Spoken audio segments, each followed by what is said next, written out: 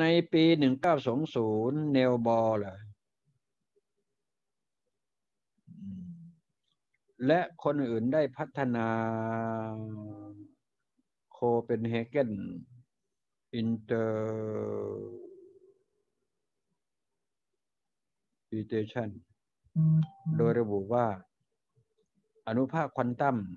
ไม่มีอยู่ในสถานะใดสถานะหนึ่ง เป็นคลื่น หรือเป็นอนุภาค แต่ในสถานะที่เป็นไปได้ทั้งหมดพร้อมกัน จะต้องเข้าใจอย่างไรและรู้สึกถึงความรู้สึกของเราณจุดใด จึงจะเรียกว่าเป็นสิ่งเดียวกัน และเราจะสามารถบทสรุปของเขา จุดร่วมควอนตัม กับตัวเรามันควอนตัมมนุษย์ได้ไหม ก็เมื่อกี้นี้ผมใช้ตรงนี้นะมีตัวกลางนะครับ ง่ายๆ ภาษาพุทธศาสนาคือปรุงแต่งควอนตัม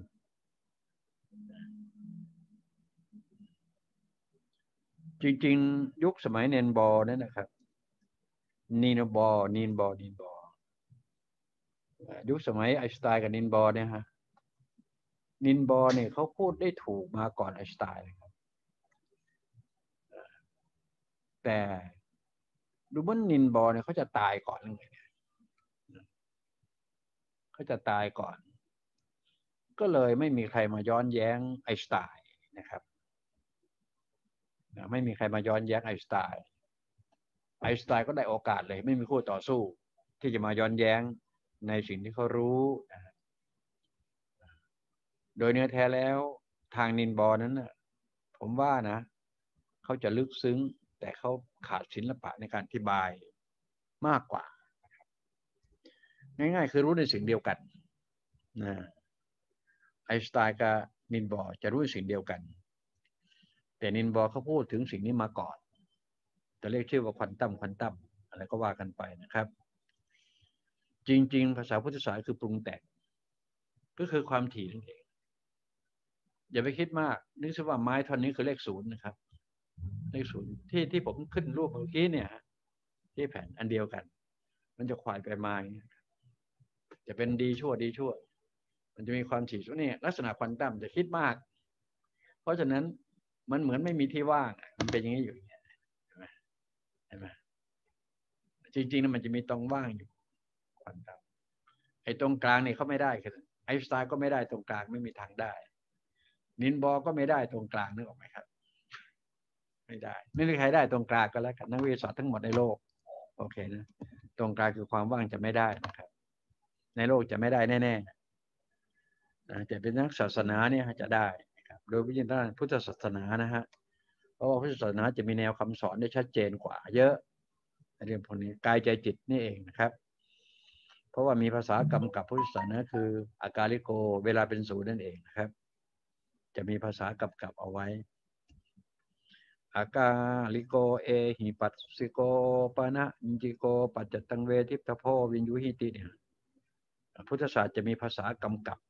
แม่นที่สุดก็คืออากาลิโกนะครับ ก็คือเซติโรลุงก็มาพูดเติมเซติโรแอนอากาลิโกนั่นคือตรงนั้นเองครับนั่น มันจะพร้อมกัน เวลาเป็นศูนย์คือ set zero นะครับ ส่วนฝั่งลุงจะออกเป็นรูปแบบนี้นะฮะโอเคนะ ก็พอจะเข้าใจทวนข้างก็ได้นะ คุณกฤษกรในเรื่องของนินพอเวลาเอ่ยถึงนินบอทางด้านนักวิทยาศาสตร์สาขาฟิสิกส์นะฮะและคนอื่นๆได้พัฒนาเขาเป็นเฮเกนก็คือในกลุ่มของ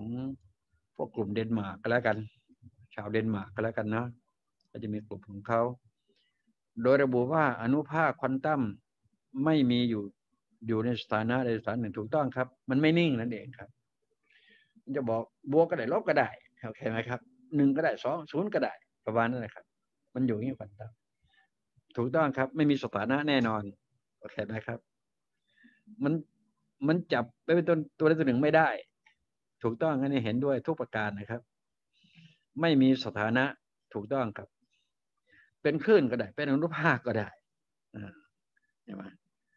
มาถึงวันนี้เป็นพลังงานกันแล้วกันนะเห็นไหมพลังงานที่ว่าคือพลังงานที่ไม่บริสุทธิ์ก็แล้วกันลุงก็จับโยงเป็นพลังงานที่ไม่บริสุทธิ์ซะมันก็จบตรงนี้ไหมครับโอเคไหมลุงมันดีตรงนี้แหละครับ มันมีมันมีอะไรจุดจบ ก็บอกเป็นพลังงานที่ไม่บริสุทธิ์ก็แล้วกัน รับได้ไหมครับตรงนี้ โอเคนะ มามามามาฝั่งลุงนะครับบาเป็นอุ่นเพราะฝั่งลุงมันทันสมัยใหม่เสมอแล้ว จะไปถามไอ้นินบอก็ได้เผาได้ฝังมันตั้งนานแล้วประมาณนั้นใช่ไหมครับ แล้วก็ตัวหนังสือเข้ามาตีความนั่นนะครับโอเคนะเออเอาตัวหนังสือเข้ามาตีความ เคยไปนั่งฟังบรรยายเขาไหมก็ไม่เคยหรือเปล่า ส่วนมากก็หนังสือตัวหนังสือเข้ามาตีความนะก็โอเคนะ ก็ถือว่าเข้าใจลูกซึ้งอยู่แล้วล่ะ ถ้าบอกว่าเป็นคลื่นเป็นนุฟ้าก็ถือว่าเข้าใจอย่างลึกซึ้งแล้วแต่ในวาระนี่มันมันต้องเป็นเข้าถึงนะฮะจึงจะมีข้อยุติลุงสรุปเลยแหละครับว่าควันตัมคือพลังงานที่ไม่บริสุทธิ์โอเคไหมครับ มีความถี่สูงมากนะครับ ใกล้เคียงกับแสงมากนะครับ ใกล้แค่คือความเร็ว ความเร็วความถี่มันก็คือกัน ความเร็วนี่เนี่ยความเร็ว เร็วไปได้กลับนี่ไงเร็วไปเร็วกลับ ในหนึ่งก็บอกว่า frequency คือความถี่นั่นเองนะครับ ลักษณะนึกออกนะ ความเร็วความถี่ก็หมายความมันเดียวกันตีความอันเดียวกันได้เลย ความถี่มันไปแล้วกลับ ความเร็วมันไปอย่างเดียวเร็วโอเคไหมครับ นึกออกไหมครับ ความเร็วมันไปอย่างเดียว ความถี่ก็คือไปแล้วกลับนั่นคือความเร็วนั่นแหละโอเคนะ เออ เห็นไหมภาษาเนี่ยง่ายจะตายเลย ถ้าเราเข้าใจมันแล้วนะครับแต่ในสถานะที่เป็นได้ทั้งหมดพร้อมกันก็ใช่มันเร็วมากจนกระทั่งมันพอๆกับแสงอะ มันพร้อมกันมันเร็วถึงขนาดนั้น ถึงขนาดพร้อมกันเขาก็เห็นเป็นพร้อมกันนั่นแหละครับก็เลยไม่สามารถที่จะว่าเป็นบวกเป็นลบเรื่อยสักอย่าง นั่นคือภาวะ สภาวะควันตัม ลุงตีความตีแตกตัดตกคือพลังงานที่ไม่บริสุทธิ์จบตรงนั้นเลยครับ ไม่มีภาษาต่อนะครับ จะต้องเข้าใจอะไรจึงจะรู้สึกถึงความรู้สึกของเราอ๋อไอ้ตรงนี้ก็ต้องเข้าใจผ่านความรู้สึกจนไร้ความรู้สึกก็คือ unconscious นั่นเองครับผมตรงนี้จึงจะเข้าถึงนะครับ เข้าถึงมาทางปฏิบัติก็ต้อง unconscious อย่างเดียวเท่านั้นเองครับ ก็ลุงพยายามบอกว่า abnormal and unconscious นี่ก็ภาษาลุงนะครับกำกับเอาไว้ตรงนี้นะครับ conscious แปลว่าสติ แปลว่ารู้สึกนะครับ ถ้าอันก็แปลว่าไม่รู้สึก ก็คือไร้ความรู้สึก มันภาวะอัตโนมัติครับตรงนี้นะครับ เป็นอัตโนมัติจริง ๆ นะฮะดีแล้วที่ได้ยินจากลุงเล่าให้ฟังกันแล้วกันเออค่อยๆเก็บตกทีน้อยสองน้อยนะครับ นะนะนะนะอืม พอคุณลุงจับมันอยู่ในที่เดียวกัน พอคุณลุงจับ มันอยู่ในที่เดียวกัน แล้วแรงเหนี่ยวนำที่จับมันรวมกันคืออะไรไอ้ความจริงถามว่าจับมันรวมกันนะฮะลุงไม่ได้จับครับ ลุงรู้ตรงกลางอะ รู้ตรงที่มันเป็นที่บอกว่าเซตซีโร่เนี่ยตรงกลางนี่มันก็จะเข้าใจมันเลยนะครับ พอรู้มันจะเข้าใจมันเลยอะประมาณนั้น ไม่ได้จับ มันมีเป็นธรรมชาติมันอยู่แล้ว แต่ไปรู้มันตรงนั้น ก็แปลว่าไม่ได้จับมันโอเคไหมที่จับก็จับมาใช้คือจับเอาพลังงานบริสุทธิ์เนี่ยมาใช้ โอเคไหมถือครองเนี่ยลุงอถือครองพลังงานบริสุทธิ์โอเคดีไหมใช้คำนี้ดีกว่า ถือครองเป็นเจ้าของเลยประมาณนั้นโอเคไหม ก็ขอขอขอถือโอกาสตอบตามนัยยะนี้กันแล้วกันนะครับแล้วลุงจับมันรวมกันได้อย่างไร ไม่ได้จับนะครับ แล้วหนูจะรู้รู้สึกได้บ้างไหมคะ ก็ไร้ความรู้สึกครับจะรู้สึกต้องผ่านความรู้สึกนะไหมมันจะฟัง จะรู้สึกได้ ก็ต้องผ่านความรู้สึก จนถึงขั้น ไม่มีความรู้สึกหรือไร้ความรู้สึก เนี่ย มันอัตโนมัติครับผมตรงนี้ เอาภาษาไปก่อนแล้วกันนะ เออกักภาษาไปก่อน เผื่อมันได้ตรงนี้ เป็นชาติสุดท้ายกันแค่ไหมเออ ก็ขอให้เป็นเช่นนั้นนะนะนะนะนะนะนะนะนะคุณกฎชพรนะครับ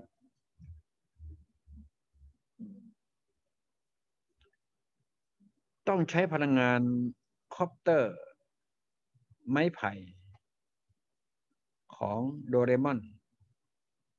หลังจากเปิดประตูวิเศษ สีชมพู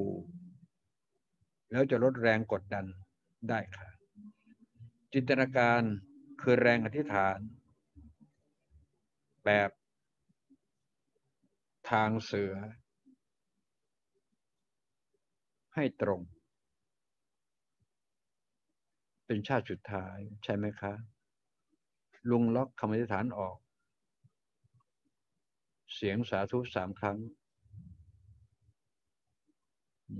คุณสระเปาคุณสระเปา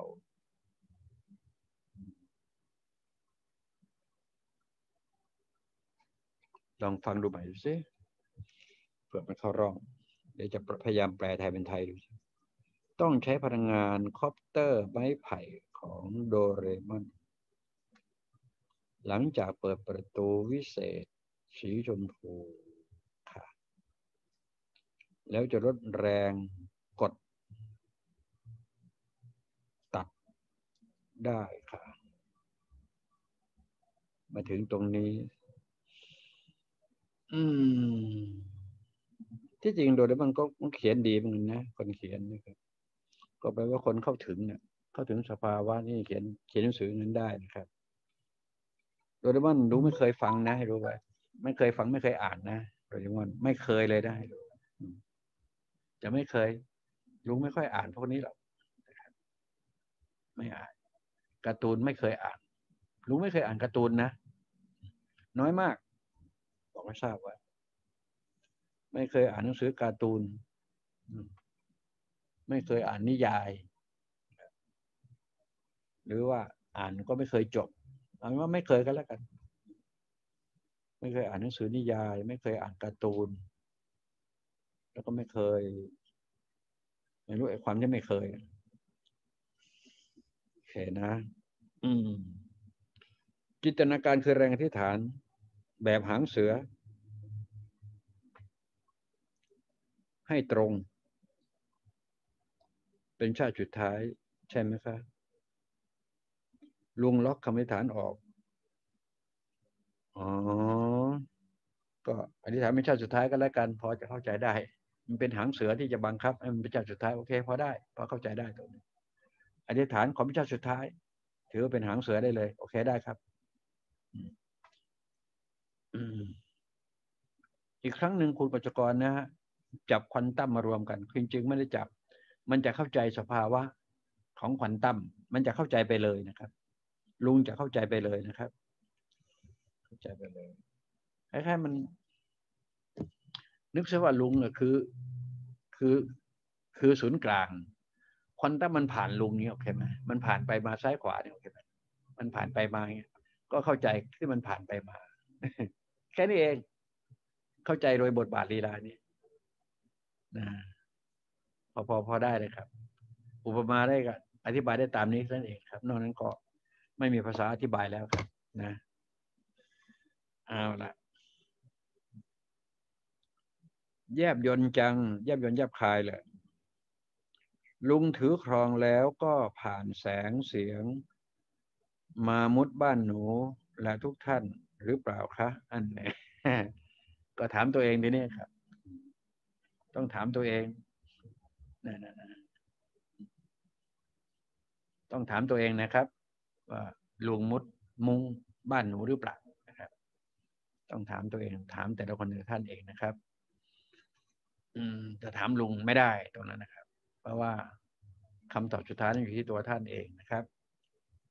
ลุงก็มีหน้าที่เล่าให้ฟังทำนองนี้เนี่ยเข้ายุคพระพุทธปฏิหารแล้วหรือครับ เออคำถามนี้ก็ ก็ดีนะคุณเดีย เข้ายุคพุทธปฏิหารแล้วหรือครับ ถ้าผมตอบคำถามนี้นะฮะผมตอบเป็นเปอร์เซ็นต์ได้ไหมครับ ผมว่ามันแปดสิบเปอร์เซ็นต์นะนะแปดสิบเก้าสิบเปอร์เซ็นต์นะนะยุคพุทธปฏิหารนะครับ ขอตอบเป็นเปอร์เซ็นต์กันแล้วกันเข้ามาถึงพุทธปฏิหาร ถึงแปดสิบ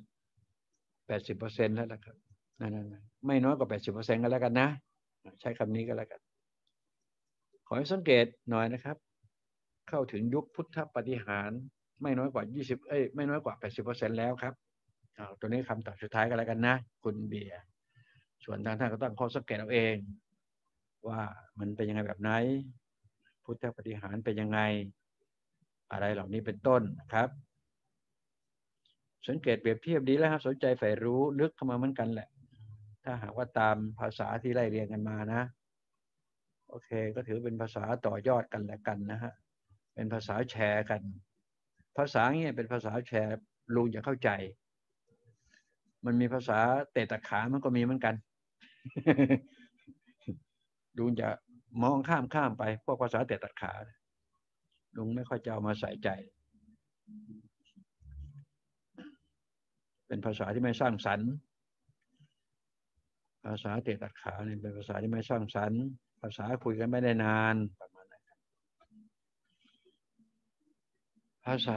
ต่อยอดภาษาเพื่อนฝูงญาติสมิทมิตรสหาย โอเคอไม่เป็นไรแล้วนะหมดแล้วหมดแล้วครับ เอาละพอโอเค วันนี้ก็ถือว่าคำตอบคำถามในนี้ ก็เรียกคอมเมนต์ไม่ได้เป็น comment comment มันแปลว่าแนะนำนะให้ดูเออ comment มันแปลว่าแนะนำนะให้ดูใช่ไหมครับ